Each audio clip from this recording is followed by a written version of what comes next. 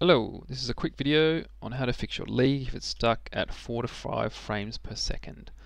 So basically you load up League, it's stuck at 4 to 5 no matter what you change, VSync, um, scaling, quality, performance, um, nothing seems to change it. It's always 4 to 5 frames per second.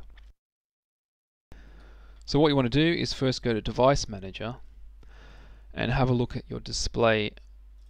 I'll show you how to get that. So Device Manager down here you can right click and run as admin if you can, uh, otherwise just click it. Once you're in here, open up display adapters, you'll see your, your onboard Intel GPU and your primary GPU. So the main reason this happens is that your Intel GPU does not have a driver associated with it.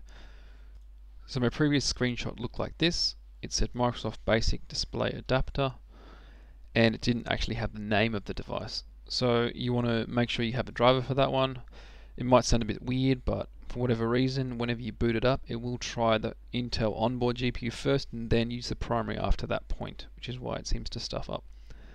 So just head to Google and look up your model number. So I've already done that. So graphics 530 in my case. Get the download for Windows 10, which is what I'm running at the moment, or Windows 11, and then you can download it. If you don't know what model your Intel graphics is, you can go to System Information, search for that. And here you'll see a baseboard product, so that's your motherboard, which if you look that up, you'll be able to find out exactly the model of the Intel graphics that's running on your machine.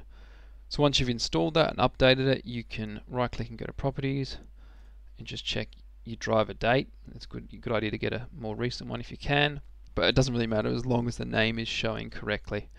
And you can update, update the driver here or usually just run the installer and that should be fine. So once you've done that, uh, you should be all good to go, but if you want to double check that League is running correctly, you can specify the GPU you want it to run under. So you can type in here GPU, and you'll see a graphics settings option. And I've already added them, but what you can do is you can go browse, you can select your League executables. There's three of them for some reason, but I just add all three just to be safe. So for me, it's under C, Riot Games League of Legends. So just click for that one, for example. It's already there, but click the options and then set it to high performance and save it. So that should be pretty much it. Um, I might make a follow-up video if this doesn't work for most people. I know apart from doing this, there's a few registry tweaks and things, but for me, I've found this has worked for a bunch of laptops I had that, that had 1050 Ti's, 1060, 1070s, and 1080s. So yeah, hopefully that helped. Yeah, until next time. Thanks.